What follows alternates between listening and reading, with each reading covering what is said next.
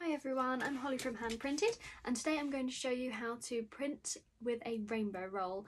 This is sometimes called a split fountain, particularly letterpress printing.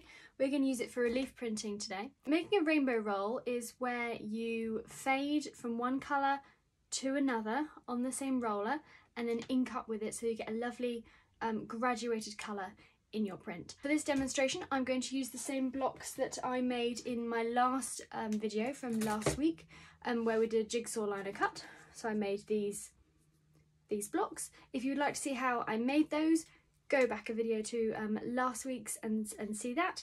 Um, this is a technique that builds upon um, creating one print but with several colours in it without having to have multiple blocks and without having to do layers on top of one another. So I'm going to show you how to do it.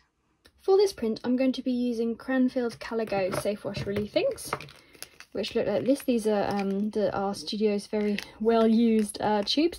I've got the three process colours here that I'm going to use. So process yellow, process blue, cyan and process red, magenta. These three colours are designed to mix together like printmaker's primary colours. So if you're just wanting to start out with colour and you want to use these inks, then these are three ones to um, to start with. They do a full range of colours, but these are really good ones for mixing. Um, this ink is um, oil based but water washable so you kind of get all the benefits from a lovely finish from an oil based ink and it will stay open on the plate for a very long time and won't dry on your rollers quickly um, but you can wash it up with washing up liquid and water so you don't need to use any solvents. So that's why I'm using these. We use these in the hand studio a lot and we have them in the shop of course. So I'm going to start off by doing a rainbow roll that goes from magenta through to yellow. So I'm just putting a little blob on the top of my plate. So I want my um, two dots to be just about within the width of the roller to start. And I can add more ink later or scrape some away if I've got too much. I'm going to start by working in strokes to bring down this ink. It looks like I might need to add a little.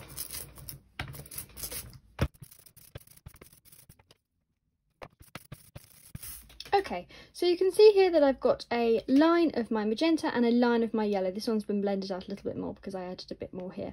Um, so I've got my two lines and a gap in the middle. My objective now is to blend these two lines together and create a mix in the middle which should sort of be, uh, it should go through a bright um, crimson and then scarlet and then an orange and then go into the yellow is the plan. So um, the way I'm going to do that is keep rolling up and down. I always want my roller to be in this orientation. Obviously, if I start going in different directions, it's going to mix, and that's bad. So I'm going to start going slightly left and right as I go up and down to get them to blend.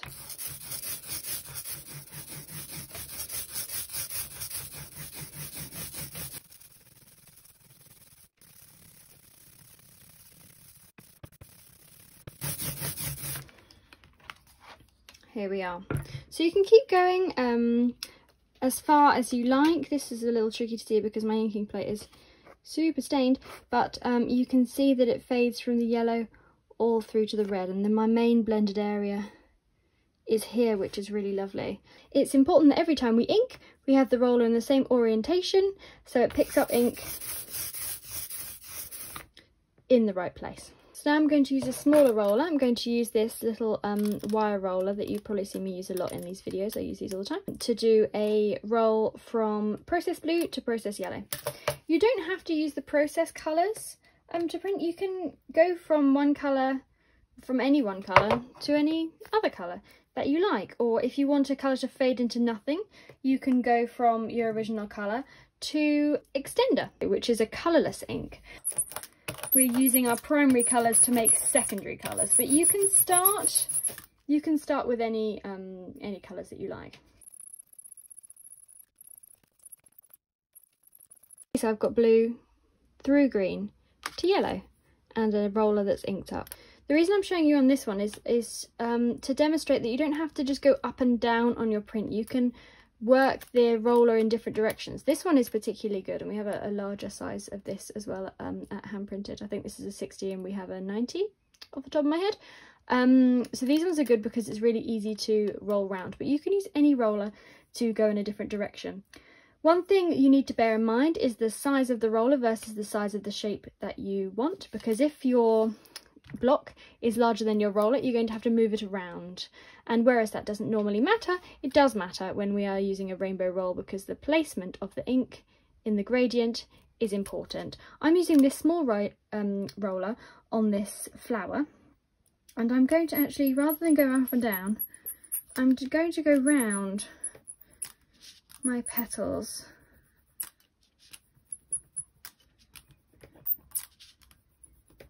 can be a little fiddly. Go roughly round.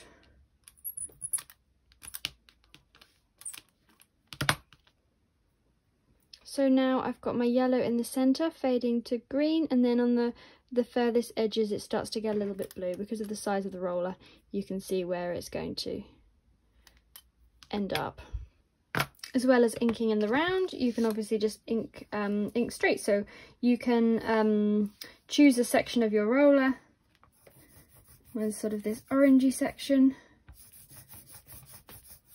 and ink up with that. So on this flower I've got yellow fading through orange. Something else to consider when you're inking in this way is removing some of the ink or adding different colour ink in different areas. That's not something that you would normally do necessarily when inking up a relief print, but you can be a bit more experimental and, and flexible with it. One thing that I like to do sometimes is to use a cotton bud. Um, I like to use the ones with the paper sticks because it's a bit more environmentally friendly.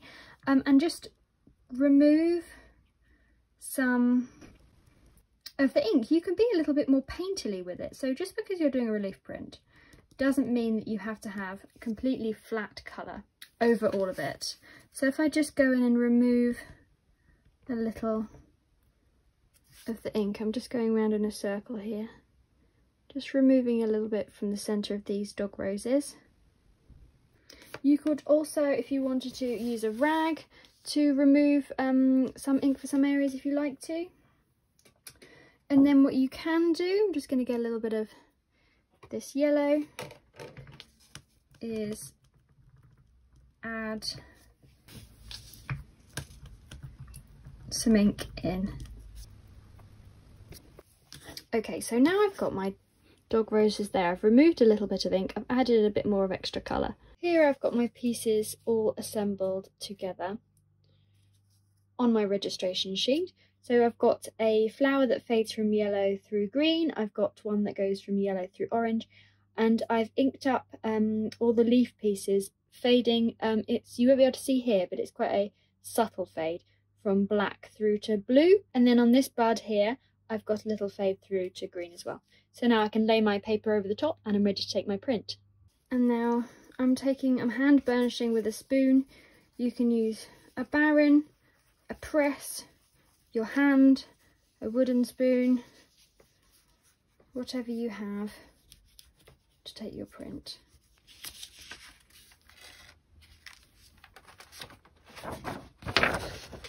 So there we have it. I've got my yellow through to my blue with my little yellow in the middle. I've got my orange through to red with my other colours added a bit of um, yellow and a bit of blue in the centre. You can see that these are black and fade to a little bit of blue at the edges and then my bud fades to green. So all that colour just from one single print layer. As always, we love seeing what you are getting up to if you do this technique or any of the techniques for the videos or our blogs or just something new. We would love to see what you're up to, so please tag us on Instagram or Facebook. Happy printing!